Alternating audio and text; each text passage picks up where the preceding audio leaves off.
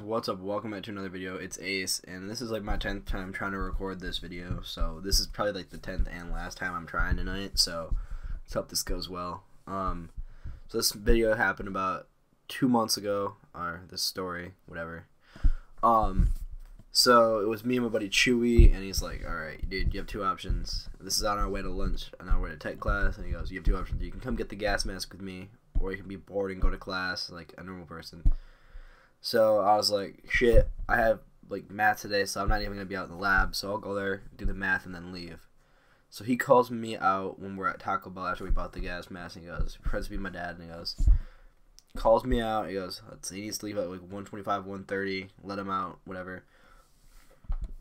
I'm like, all right, he'll leave. We'll inform the teacher, and then so I go there.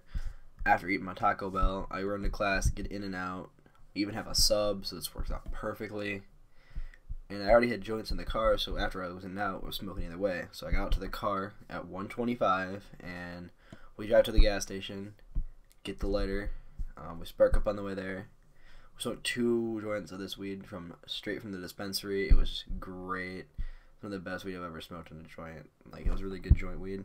And then we leave there. We uh, get to the park and we're chilling, smoking out of the bong from the gas mask. Like you could take off the bong and just use the bong. So we were using that for about I don't know a while because I remember greening out at some point and through there. Yes, I puked.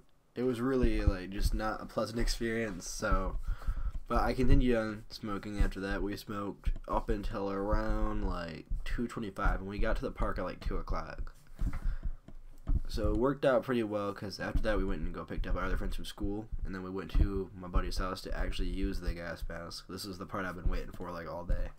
I was so hyped up to try this because I just wanted to hotbox myself and just get really really high because we keep hitting the gas mask over and over again until it's cleared.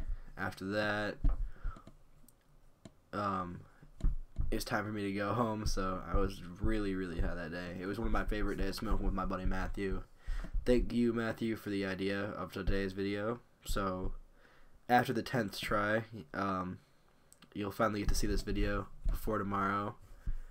So, thank you guys all for watching. I know this video wasn't the longest, but it's something to watch, guys. Thank you guys all for watching. Peace. Have a fantastic day. Please like, comment, and subscribe. Goodbye.